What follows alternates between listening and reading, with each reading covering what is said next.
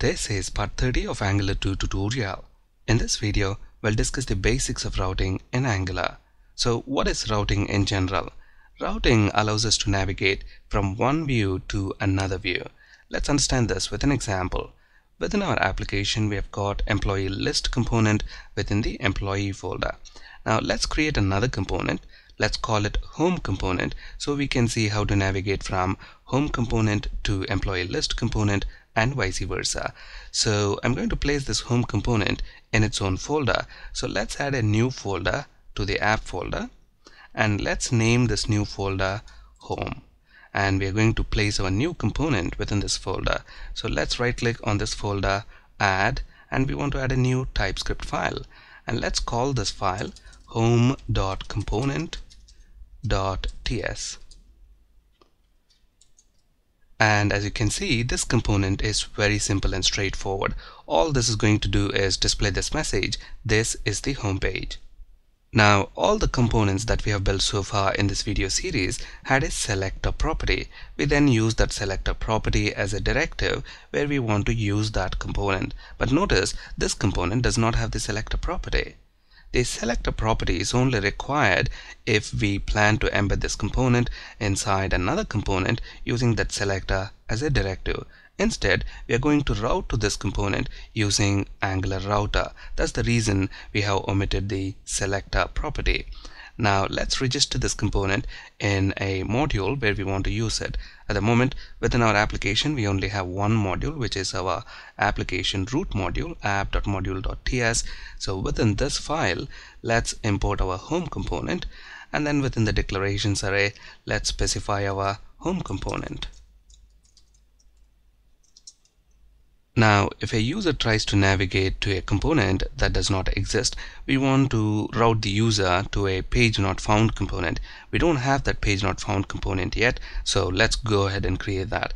I'm going to place that component within this others folder. So let's right click on the others folder and add a new TypeScript file. Let's name this page not found dot component dot ts and here is the code for page not found component. Again this component is pretty straightforward. Notice we are using the h1 element just to display this message. The page you're looking for does not exist. Notice just like our home component this component also does not have the selector property. Now let's go ahead and register this component also with our application module. So let's include the required import statement and then specify the component as part of the declarations array of our ng module decorator. So the component name is page not found component. So at the moment within our application we have got three components employee list component, home component and page not found component. So let's see how to use routing to navigate between these three components. Let's look at the steps required. The first step is to set base href element in our application host page which is usually index.html. In our application host page we have already set this base href element. This base href element tells Angular how to compose navigation URLs. So if you look at our index.html page, we have already set the base href element as you can see right here. Next, import router module and define our routes. So within our application root module, which is app.module.ts, just like how we have imported other system modules like browser module, forms module, and HTTP module, let's also import router module. In addition to router module, we are also importing routes. Routes is nothing but an array of route objects. So if we right click on this and go to definition, we can see routes is nothing but an array of route objects. We're going to use this to define our routes. We'll do that in just a bit. So import router module and routes from Angular router and then make this router module part of the imports array just like how we have made browser module, forms module and HTTP module. Next, let's define our application routes. To do that, I'm going to create a constant. Let's call the constant app routes. We can give it any meaningful name we want. Since here we are creating application routes, I called it app routes. And the type for this is going to be routes. And you know what routes is? it's an array of route objects so this array is going to contain route objects and here is our first route object it contains path and component properties so what is this route object telling angular router basically it is telling angular router if it sees this path home appended to the base URL then navigate the user to home component. Similarly if we see employees path appended to the base URL then navigate the user to employee list component. So let's define two other routes now what should happen if the user navigates to the root URL that is to localhost forward slash src that's our base url so if the user navigates to that base url then which component do we want to display to the user? And we specify that using an empty path. So in this case we set path to an empty string so basically the user didn't enter any path like home employees etc it's empty. It's just the base url in that case we want to redirect the user to a different route. And to which route do we want to redirect the user? We want to redirect the user to home. That's what we typically do in any application. If users navigate to the root of the application for example to pragimtech.com then we redirect the user to homepage. And that's what we are doing here as well and what kind of path match we want to do we want to do a full path match and finally let's specify the wildcard route now, if a user enters a route that does not exist at all, for example, ABC, we don't have a route called ABC. So what do we want to do in that case? In that case, we want to redirect the user to page not found component and we have already created page not found. So here are our four routes that we have defined. Now we have just created this routes object. We need to tell Angular router about these routes. And the way we do that is by using for root method of the router module. So we use the for root method and if you notice from IntelliSense it takes an array of route objects. So here we have our route objects. So let's pass that to the for root method. So we defined our routes and we are letting the Angular router know about these routes using the for root method of the router module. One very important point to keep in mind is the order of these routes is very important. So more specific routes should be at the top and general route should be at the bottom and that's exactly the reason why we have included this wildcard route in the end. For example, if we enter ABC in the URL, then that path does not match any of these routes, so it falls back to this route and it displays page not found component. Since this wildcard route matches every route, it should be in the end. What happens if we place it at the beginning? If we place it at the beginning, for every route, it's going to display page not found. For example, if it's at the beginning and we type home, that matches this route and it's going to display page not found. So more general route should be at the bottom and more specific route should be at the top. So at this point we have our routes defined. Our next step is to tie these routes to the application menu so the users can click on the application menu items and navigate around. Let's create our application menu within our root component which is app.component.ts within the inline view template right here let me paste some HTML. Notice here we have a div element with padding set to 5 pixels. This is going to give us 5 pixels padding on all sides of the browser window and inside this we have an unordered list and we are using these two bootstrap classes nav and nav tabs. This is going to give us a bootstrap navigation component. I'm not going to go into the details of bootstrap navigation component because we discussed that in detail in part 27 of bootstrap tutorial and inside this unordered list we have two list items and within the list item we have an anchor element. And on the anchor element we have used this router link directive.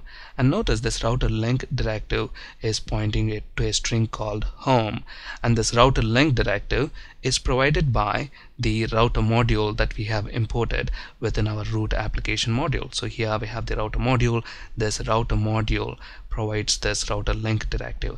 And basically this router link directive is telling angular router to navigate the user to this home path when they click on this home link. And what should happen when the um, you know angular router sees this path in the URL that's defined within our route in the root application module. So basically if it sees this path within the URL then we are asking angular router to redirect the user to home component and that's how the home component is displayed if the user clicks on this home link. Before we run our application, let's include this URL rewrite rule within the web.config file of our Angular application. This rewrite rule tells IIS how to handle routes. So basically this match URL right here rewrites every URL to this URL. And this rewrite URL right here should match the base href URL that we have in our index.html. So let's include the URL rewrite rule within the web.config file of our Angular application. And then let's run our application by pressing Ctrl F5. Notice we have the application menu rendered as expected. Now let's click on the Home tab. Nothing happens. And when we click on the Employees tab, nothing happens either. So let's launch browser developer tools and investigate what's going on. We are on the console tab. We have three errors. So let's investigate these errors. Look at the first message right here. It says cannot find primary outlet to load home component. So basically Angular is complaining that it does not know where to render the home component view template. Now when we click on the home tab, we want the home component view template to be rendered just below this menu. And along the same lines, when we click on the Employees tab, we want the Employee List Component View template to be rendered below this menu. And we know this menu is present within our root component right here. So we want the Routed Components View template to be displayed just below this menu. And to tell that to Angular, we use this directive, router outlet and this directive is provided by the router module which we have imported in our root application module. So basically, this directive tells Angular router to render the routed components view template at the location where we have this directive. So let's save our changes and reload a web page. Notice now we have the Home Component View template displayed and when we click on the Employees tab, the Employee List Component View template is displayed. Now here we have a problem with the service. Notice we have an error message here. That's basically because our Web API service is not running. So let's go ahead and run our Web API service as well. Right click on the Web API service project, View, and we want to view it in browser our web service is now up and running so let's reload this web page one more time Notice now we have the list of employees displayed and when we click on the Home tab we have the Home component view template and when we click on the Employees tab we have the Employee List component view template. At the moment we have a small problem. We don't know which tab is active, home or employees. What we want to do is style the active tab slightly differently so the end user knows which tab is active. And for that, we're going to make use of the Bootstrap active CSS class. And the easiest way to apply that active CSS class is by using another directive called router link active directive. Again, this directive is also provided by the router module which we have imported and we are going to set this to the bootstrap active CSS class. Now what this directive is going to do is if this element's route matches the active route then it applies this active CSS class to the anchor element. In our case we actually want to apply it to its parent that is the list item so let's actually apply this directive on the list item itself and let's do the same thing with this list item. Let's save our changes and reload a web page. Notice now the Employees tab is styled slightly differently and similarly when we click on the Home tab it's styled differently so we know the Home tab is active. One important point to keep in mind is this URL rewrite rule is required if you are using IIS as your web server if you're using a different web server, then a different configuration may be required what configuration to use depends on your web server and that is clearly documented within the official Angular documentation. If we don't have this URL rewrite rule within the web.config file of our Angular application, then the routing may not work correctly. For example, when we reload this web page by pressing Ctrl R or Ctrl F5 or by clicking this reload button or clicking on this back or forward arrows or when we type the URL directly within the address bar the routing may not work as expected let's actually prove this let's comment the rewrite rule within web.config file save our changes and then let's try to reload this web page by clicking on this reload icon and notice we get 404 so routing is not working as expected we need this URL rewrite rule only if we are using HTML5 style routes. If we are using hash style routes, then it is not required. At the moment, we're using HTML5 style routes without hash in the URL. Let's try to use hash style routes. To use hash style routes, we have to set use hash to true and we do that within the for root method. So along with the routes, we pass an object which contains this property use hash and we have set that to true. So with this change in place, let's run our application one more time by pressing Ctrl F5. Notice the URL in the address bar. We're using hash style routing. When we click on the employees tab, we see the employee list component view template back and forward buttons in the browser work as expected. Similarly, when we click this reload button, it still works as expected. And when we type directly in the address bar, for example, I want to go to the home route, look at that, it still works.